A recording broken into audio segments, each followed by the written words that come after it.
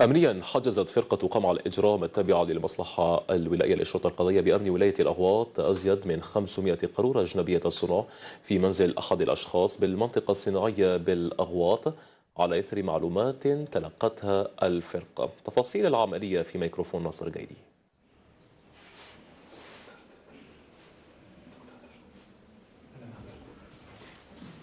تمكنت المصلحة الولائية للشرطة القضائية بأمن ولاية الأغواط بعد ورود معلومات مؤكدة مفادها قيام شخص يبلغ من العمر 53 سنة بتهريب المشروبات الكحولية الأجنبية الصنع.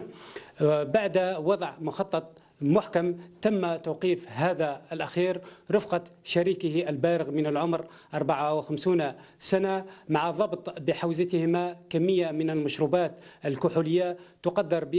ب 551 وحدة من مختلف الأنواع والأحجام